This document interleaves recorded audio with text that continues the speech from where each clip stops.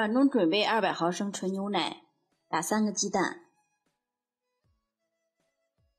放一勺食用油，三克干酵母，一勺白糖，搅拌均匀。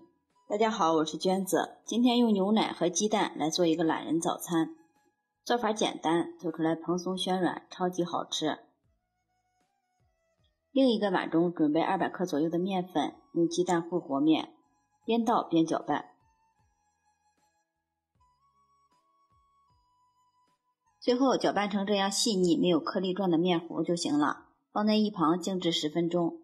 十分钟后，把里面放一点小苏打，搅拌均匀。放入小苏打可以起到蓬松暄软的作用。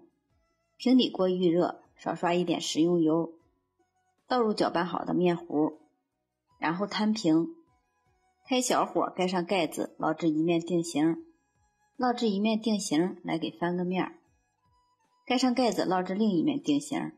烙至另一面定型，再给翻个面儿，来回翻两个面儿，烙至两面金黄酥脆，变得特别胖，这样就是熟了，这样就可以出锅了。把它取出来，再切成自己喜欢的形状。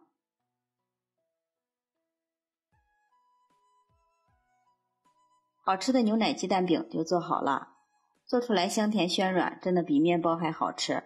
做法也非常简单，如果早上不想早起的话。可以晚上把面和好，放进冰箱里，早上起来直接烙，非常方便，三分钟就可以做好全家早餐。学会这个方法，再也不用出去买早餐了。好了，今天的视频就到这里了。喜欢我的视频，别忘了在下方评论、转发、收藏。感谢大家收看，我们下期再见。